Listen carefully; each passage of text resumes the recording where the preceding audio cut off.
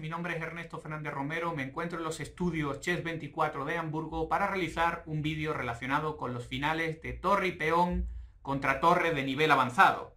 En este vídeo vamos a tratar de comprender, de contemplar los detalles cuando tenemos un peón situado en la columna de torre y además en séptima.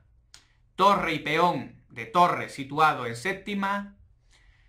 El rey el rey del bando defensor está alejado, no está situado delante del peón, pero su torre, su torre sí que está muy bien posicionada, presionando al peón por detrás, obligando a la torre fuerte, a la torre que acompaña al peón, a situarse en una posición que no es la más eh, cómoda para ella. Está situada delante del peón, molestando el avance.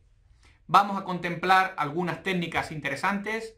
Tenemos que atender a la zona donde está situado nuestro rey, os diría que este es el detalle más importante. Vamos a ir viendo algunos diagramas y trataremos de comprender algunos detalles importantes en este tipo de final. Por ejemplo, empecemos por esta primera posición. Como podemos ver, el rey negro no está situado delante del peón, que sería lo ideal. El rey negro está muy alejado, está muy alejado, pero su torre sí que está muy bien situada. Está situada detrás del peón obligando a la Torre Negra a quedar en una situación incómoda, pasiva, ¿verdad? Se coloca adelante, solamente defendiendo y además obstaculiza la promoción de este peón. Hay un detalle muy importante, las blancas no necesitan, no necesitan la ayuda de su rey para poder coronar su peón. Esto es lo más importante que debemos recordar. Por ello, hay que tener mucho cuidado cuando el peón está en séptima con algunos trucos. Por ejemplo, la torre se quita, se desplaza y da un jaque al rey, con lo que el peón puede coronar. Así que si el rey negro se envalentona subiendo a la fila número 6, 5, si se sitúa por estas filas, la torre, la torre le da un jaque, ¿verdad? Le daría un jaque y el peón simplemente promociona. Esto creo que es muy básico, creo que todo el mundo lo comprende rápidamente. Así que tenemos que tener cuidado cuando el peón está en séptima, con el jaque de la torre y el peón corona. Así que por ahora, aparentemente, por ahora, aparentemente, el rey negro está bien situado. Está en la fila número 7, eh, eliminando esta opción, eliminando la opción de la torre blanca a dar jaque. Pero, muy importante recordar este detalle, este truco, no debemos pasarlo por alto, porque es importantísimo que el rey no se encuentre alejado de la zona ideal, que ahora trataremos de comprender cuál es esta zona. Lo ideal, que el rey esté delante del peón. Que no lo hemos conseguido. Hay una zona también importante a controlar para que no ocurra precisamente este detalle y ahora lo trataremos de comprender. A pesar de la torre no tener jaques, a pesar de la torre no tener jaques, también debemos observar este detalle la torre simplemente se aparta, amenaza a coronar, y una vez que la torre negra captura el peón, le damos jaque, con lo que ganamos también la partida. Parecería que estamos contentos, he eliminado el peón, he conseguido tablas, pero cuidado, el rey queda alineado y la torre le da un jaque que la captura a la torre negra. Por lo tanto, debemos tener cuidado con varios detallitos cuando el rey está muy alejado, no está situado delante del peón. Que no nos den jaque y el peón simplemente corone. Y que tampoco nuestro rey esté muy alejado porque la torre se aparta y tenemos este detallito táctico con el que atrapamos a la torre, en este caso de las negras. Entonces todos nos estaremos preguntando, a ver, entonces, ¿cuál es el método, cuál es el detalle para intentar defender estas posiciones? Porque si mi rey está muy alejado o me dan jaques o me enganchan con este detallito táctico, ¿cuál es la zona en la que tiene que estar este rey? Ahora lo vamos a tratar de comprender. Por ejemplo, podíamos visualizar este, este diagrama, en el que juegan las negras, las blancas ya sabemos cuáles son sus intenciones, tienen su peón situado en séptima, y lo que quieren es quitar su torre, dar un jaque y por lo tanto coronar este peón.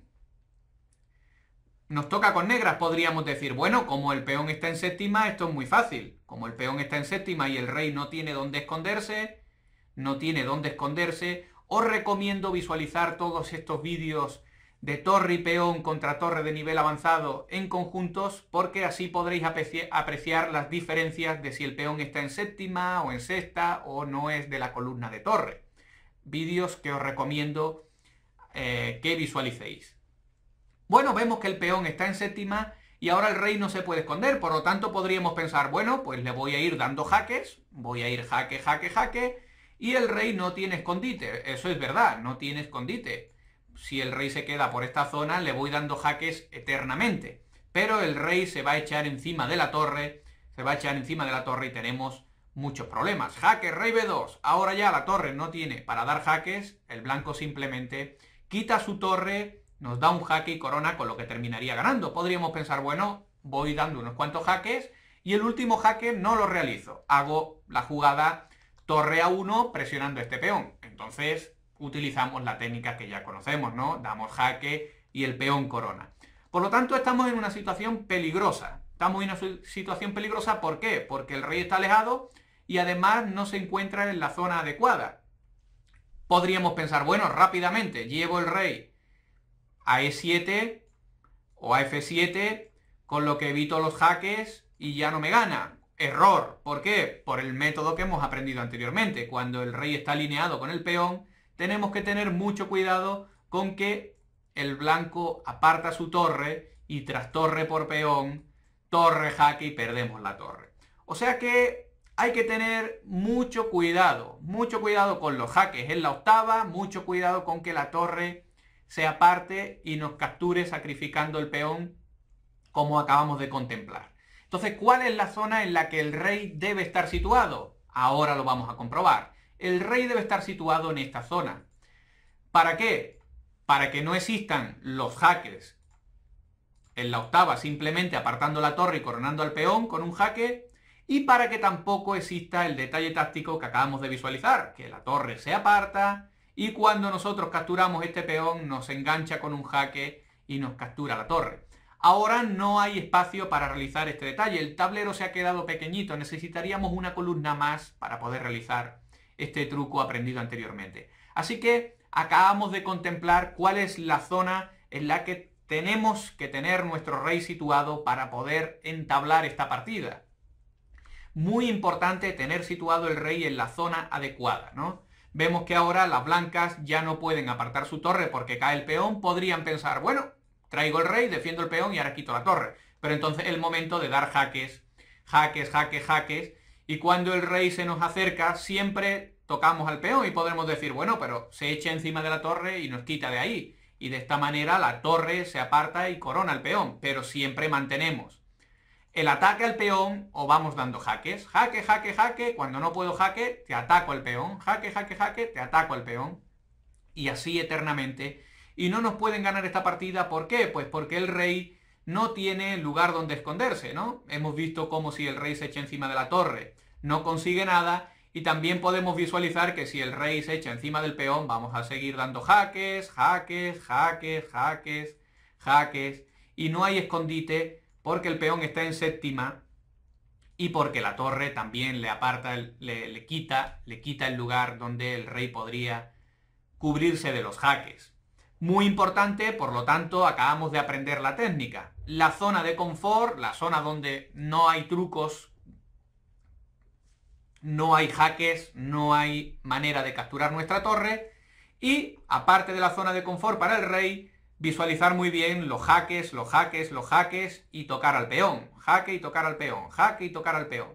Y de esta manera obtenemos el empate si conseguimos este tipo de, situaciones contra el peón de torre que se encuentra situado en séptima. ¿Cuándo hay más peligro? Pues cuando el rey no logra, no logra situarse en esa zona de confort. Hemos dicho que serían estas casillas, ¿verdad? Para que la torre no pudiera dar jaques y coronar al peón. ¿Qué pasa si entramos en una partida en la que no nos ha dado tiempo a llegar con nuestro rey a esa zona? Pues que lo más probable es que terminemos perdiendo. Bien porque la torre nos dé un jaque y corona el peón, pero podríamos pensar, bueno, pero se me está ocurriendo una cosa interesante, a ver si consigo el empate. Coloco mi rey cubriéndome con el rey del contrario.